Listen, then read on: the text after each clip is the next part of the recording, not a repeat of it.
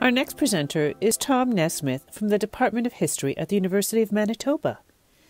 Thomas Nesmith has made a significant new contribution to scholarship by leading the transformation of the study of archives from a marginal academic subject into a body of complex theoretical conceptualizations that form a new basis for university level professional education for archivists.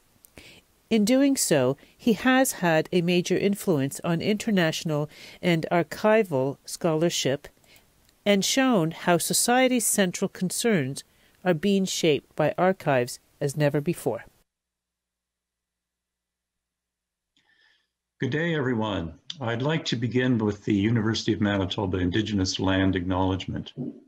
University of Manitoba campuses are located on original lands of the Anishinaabe, Cree, Oji-Cree, Dakota, and Dene peoples, and on the homeland of the Métis Nation.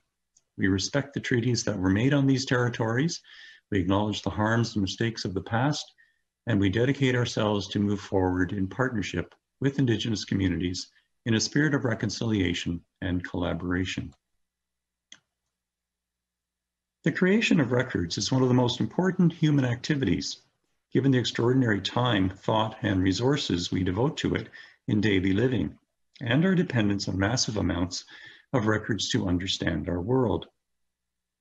These records are the purview of archives, such as the Archives of Manitoba and its Hudson's Bay Company Archives, which is on the UNESCO Memory of the World Register as one of the most significant in the world, and the Truth and Reconciliation Commission's archives at the University of Manitoba.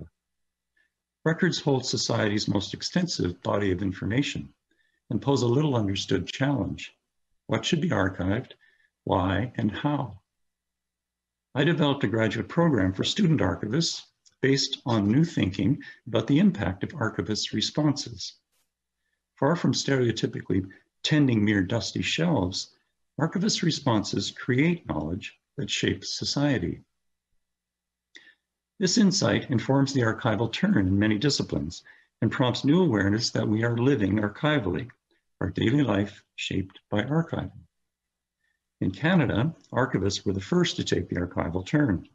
In the 1970s, the new Association of Canadian Archivists founded Archivaria to make the study of archiving the new basis of archivist work. It may seem odd, but that had not been done before by Canadian archivists and rarely elsewhere. The most important current Canadian example of the archival turn is the centrality of archives to Indigenous rights and Renaissance. The TRC critiqued the Euro-Canadian archives about residential schools to establish an Indigenous one. And Jeremy Dutcher exemplifies this cultural renaissance in music he wrote based on century-old recordings of Indigenous songs. Use of archives and human rights concerns more generally parallels Indigenous examples, from compensation to Japanese Canadians for World War II internment to exoneration of the wrongfully convicted, such as Steven Truscott, and the South African struggle for democracy. And if you have the new $10 bill, you'll see the image taken from archives of civil rights pioneer Viola Desmond. UNESCO's Universal Declaration on Archives, which emerged among Quebec archivists, upholds these ideas about archives, democracy, and citizens' rights. Among medical examples is epigenetics, or how the genes of a fetus or young child are affected by adverse environmental conditions they can trigger health problems in later life. This was detected using archival research. For example, the birth slide, the birth ledger in this slide. New disease treatments have resulted. Among other medical examples, convent archives enabled breakthroughs in understanding Alzheimer's disease. Archives were also used to study the outbreak of the flu pandemic during the First World War, and in cancer, PTSD, diabetes, ophthalmology, and vaccine research. Leaving Earth, millions watched NASA's New Horizons spacecraft arrive at Pluto in 2015. But when launched, NASA did not know if it was targeted accurately enough. Mission astronomer Marc Buie grew sufficiently worried that he went to the Lowell Observatory archives to examine early records of Pluto's orbit. The information ensured the successful flyby. Buie says the archives, and I quote, has been phenomenally important to the mission.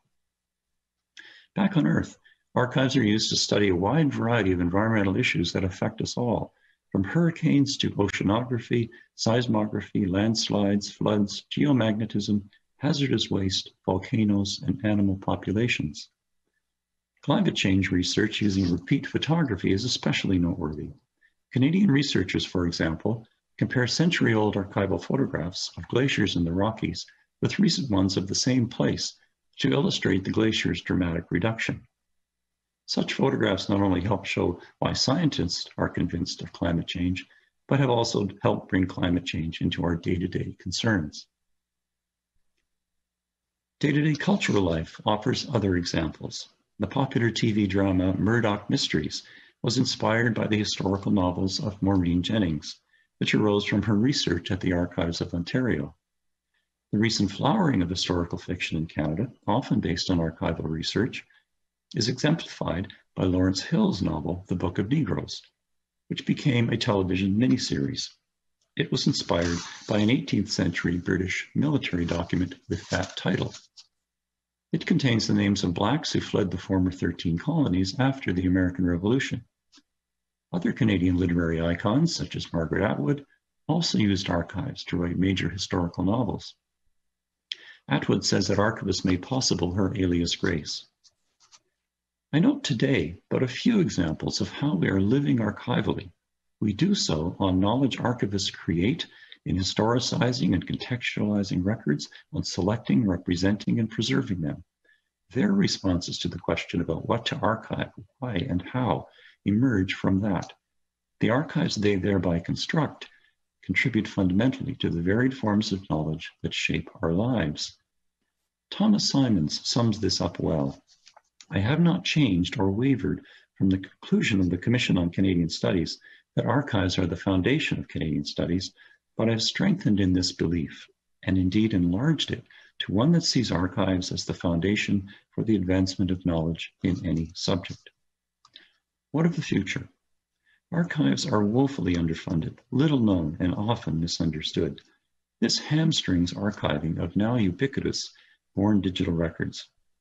Walter Isaacson, biographer of Leonardo da Vinci and Steve Jobs, remarks that about a quarter of da Vinci's five centuries old paper notebooks have survived, a survival rate still greater than architect of the digital age Jobs's 1990s digital records.